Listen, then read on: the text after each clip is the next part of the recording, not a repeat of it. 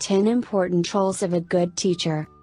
The roles of a quality or good teacher are more than just planning, making lesson plans, or teaching. The teacher's roles in today's world are different from what they used to be. Teachers used to plan or were issued a specific curriculum to teach with, that provided them sets of instructions they were supposed to follow. However, that's not the same issue with today's teachers. Teachers nowadays are like a third parent. Simply because teachers spend much time with students and they can be a positive role model to students that lack a proper family foundation. Their job is to counsel students, inspire them and help them to utilize the knowledge they receive into their lives so they can become valuable members of society. Even though the teacher's role as a third parent may depend to the age and grade of those she or he teaches, we as teachers must not forget that the students look up to us as role models. And as a Ugandan and a university student in Turkey, I can honestly say my education journey has been down to the efforts of my teachers. Most teachers engage in a variety of roles in the classroom, but there are some roles which are more essential for teachers to take on, the roles of a teacher may change according to the type of activities and what we wish to give to our students.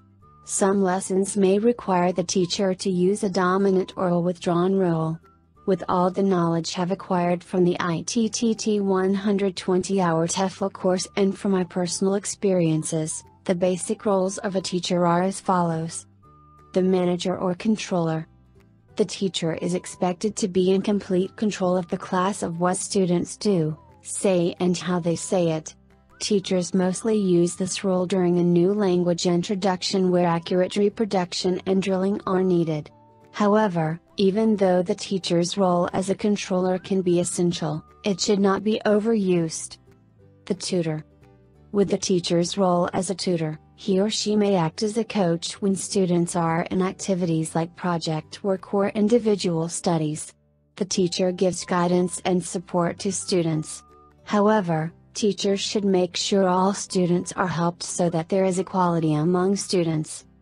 The resource Teachers are a kind of locomotive resource centers that students get help from when needed so teachers are expected to be available to learners for consultations when it's necessary. Teachers can help and teach learners to use essential resources like dictionaries mostly to learners that are new to the language.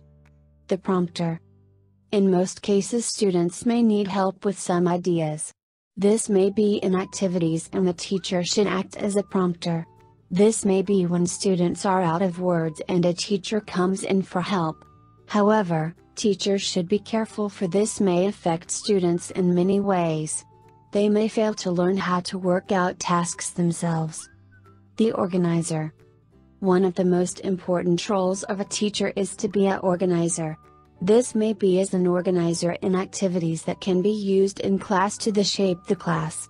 The organizer role may also include getting involved and engaging with the students for demonstrations and other activities. This role can also change students' sitting places too. The participant. The teacher as a participant is a vital role in teaching. It is mostly used with young learners where motivation and class atmosphere are very important issues. It's a great way of interaction with students without being too dominant. However, teachers should beware of risks like domination while participating. The assessor.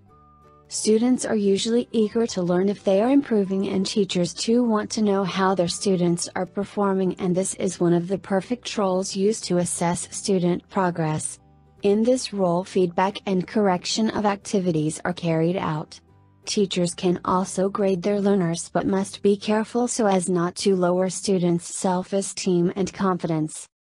The role model Teachers can also act as role models to lives of students. Even though it is a personal issue, the fact that teachers spend much time with students, rapport and a good relationship can be one of the results. Some students really need encouragement, advice or someone to listen to them. Something that sometimes they are not able to get from their parents. Source of knowledge Of course, the general and most common role of a teacher is to teach and give knowledge to students. Teaching involves a curriculum that a teacher must follow till the end of term or year so as to give students required knowledge. Creating rapport and suitable class environment. Teachers are encouraged to make rapport with their students so as to create a good environment between themselves and students. A good environment can encourage students to participate and also create students' interest in learning. This can also have negative results like students may not take the teacher seriously sometimes. Find your role as an English teacher abroad today. Speak with an ITTT advisor today to put together your personal plan for teaching English abroad. Send us an email or call us toll free at 1 800 490 0531 to speak with an ITTT advisor today.